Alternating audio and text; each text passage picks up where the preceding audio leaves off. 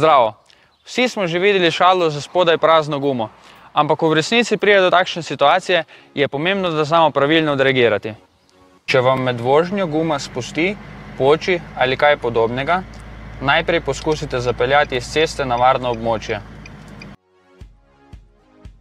Če v avtu niste sami, naj vas ostali počakajo v avtu ali nekje na varnem, saj je menjava gume za rezervo one person job. Po potrebi oblecite varnostni opič in postavite varnostni trikotnik. Rezervno kolo se največkrat nahaja v prtljažniku.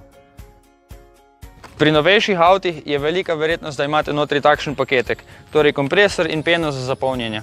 Ostale možnosti so še, da imate run flat pneumatike ali pa seal inside pneumatike, o katerih bomo povedali več drugih. In da bi imel ta video res uporabno vrednost, vam predlagam, da ga pauzirate, stopite do vašega avta in preverite, če imate vsaj eno od naštetih stvari. Ker če jih nimate, v primeru defekta, ste preprosto veriti. Ampak še dobro, da to preverimo sedaj, ko se še bog ne daj, ni nič zgodilo, saj tako še vedno lahko najdemo vam in vašemu avtu pravo rešitev. Stopimo nazaj do prtljažnika, kjer je rezervno kolo največkrat. Najde se na dnu. Zraven njega je dvigalka, ključ in podaljšek za ključ. Ampak pozor, preden sploh začnemo, obvezno zategnite parkirno zavoro, kolikor lahko. Vijake podvijačite le toliko, da popustijo. Avto podložite na tako označeno mesto, ki je lahko označeno tudi s puščico ali s čem podobnim. Sedaj avto lahko vzdignete. Ko je kolo vidno v zraku, lahko vijake odvijačite do konca. Lahko sedaj zamenjate za rezervo.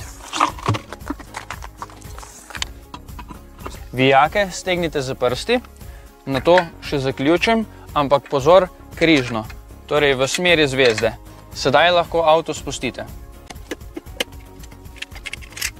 Vijake dotegnite še za silo obeh rok, ampak ne pretirano. Spet v križnem stilu. Tako je menjava upravljena. Vijake čez nekaj kilometrov še dotegnemo. Verjetno ste se zdaj vprašali, kam pa sploh lahko grete vi s to rezervo. Ponavadi ta podatek piše na samem platišču ali pa na pneumatiki. V vsakem primeru, ali te omejitve so ali niso, pa je priporočen čim prejšen obisk vulkanizerja, ki bo odkril, zakaj je do problema sploh prišlo, če je z vašim avtom še vedno vse v redu in bo popravil morebitne težave.